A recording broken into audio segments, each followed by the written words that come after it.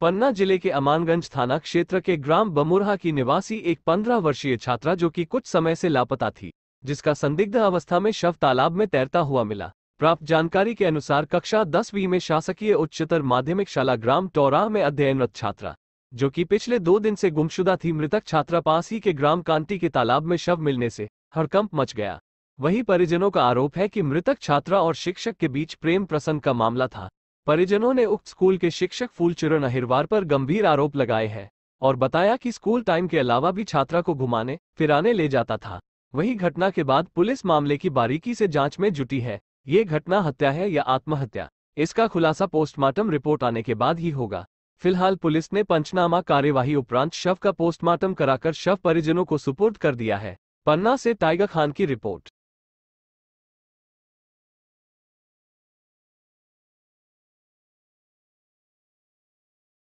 बताएँ अपना।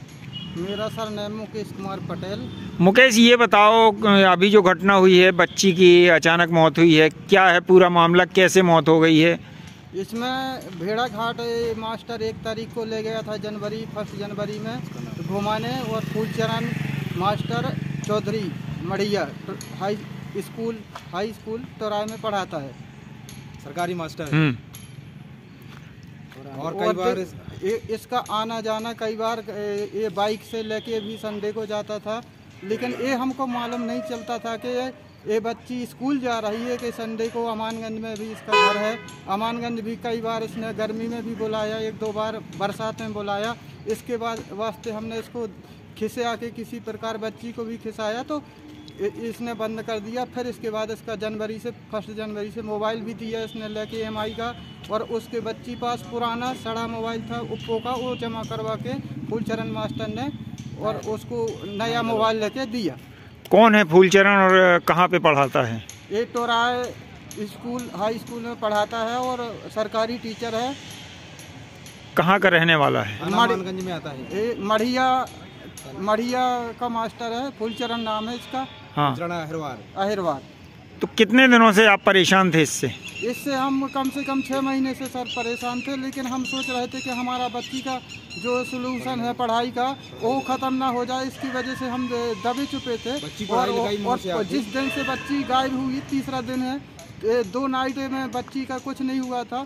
और दूसरी रात जब हमारे पास रिपोर्ट हमने दर्ज करवाई वो, वो इसको जानकारी लिया दो बच्ची से पूजा पटेल और और ये टपरा की बच्ची से जब जानकारी निकाली जाती है थाना प्रभारी से तो इसके बाद फिर बारह घंटे रात बीतने के बाद सुबह हमको लहास तालाब में कांटी की पड़ी मिलती है दस बजे।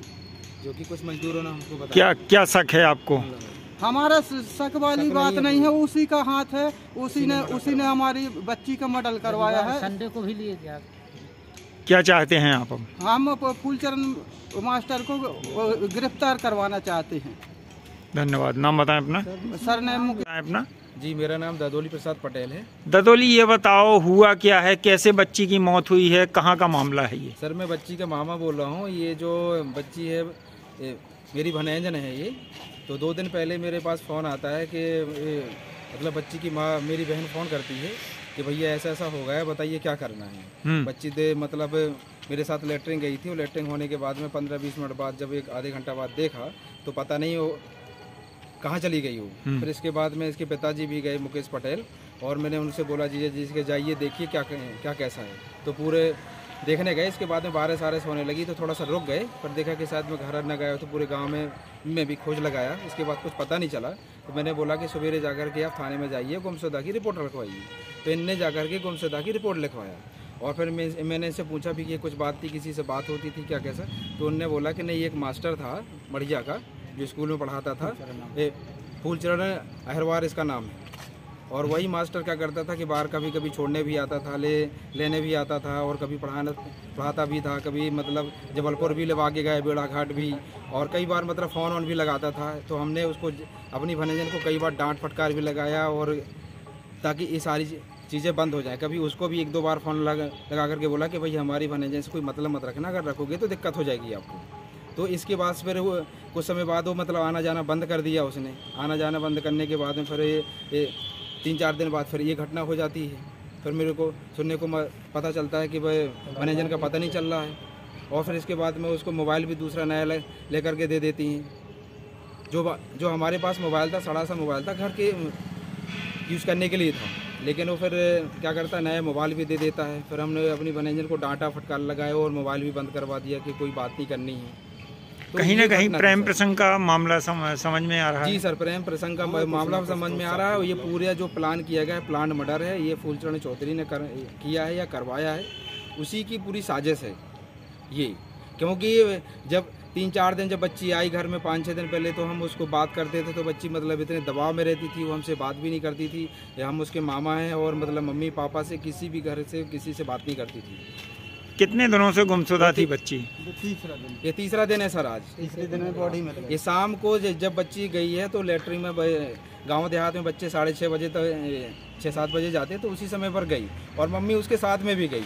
तो दूसरे दूसरी जगह अपन गए इसके बाद में आधा घंटे बाद देखा तो पता ही नहीं लगा सर कहाँ गई। फिर अपन ने ढूंढना चालू कर दिया साहब। गाँव से कितनी दूर बॉडी मिली है? ये मतलब आधा एक किलोमीटर होगा लगभग। आधे किलोमीटर सर। तालाब में मिली है? जी सर। अब क्या चाहते हैं आप लोग? हम